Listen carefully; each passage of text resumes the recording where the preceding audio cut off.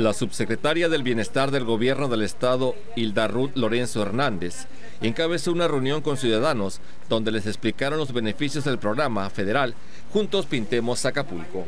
La federación en coordinación con el Estado pondrán la pintura y realizarán el trabajo.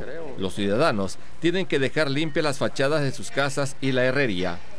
Nuestro presidente de la República y nuestra gobernadora, pues sus instrucciones son claras, se respeta la opinión de cada ciudadana, de cada ciudadano, no se imponen los colores, ellos deciden el color que quieren para que se pinte pues su casa, su hogar.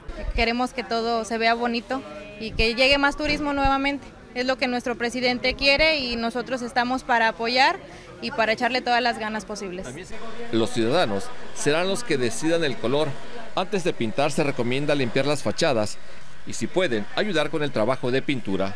Jesús Tirado en la Lente les ha informado Hugo Sandoval Alcaraz para RTG Noticias.